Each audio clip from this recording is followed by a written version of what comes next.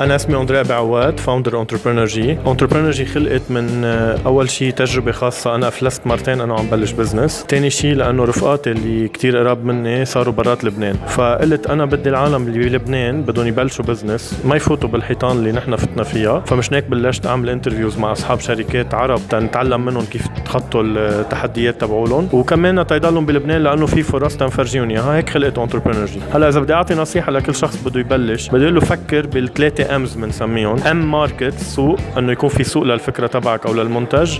مارجن آه، اللي هو الربح يكون في شيء عم تقدر تربح منه تيأمن لك الاستمرارية. ومية اللي هي أنت إذا أو أنت أكيد إذا هيدا الشيء بيناسب نمط الحياة تبعكم ففكروا فيهم إذا أول شيء الفكرة تبعكم لها سوق في ربح من وراها وهيدا الشيء بيناسب النمط تبعكم وبلشوا.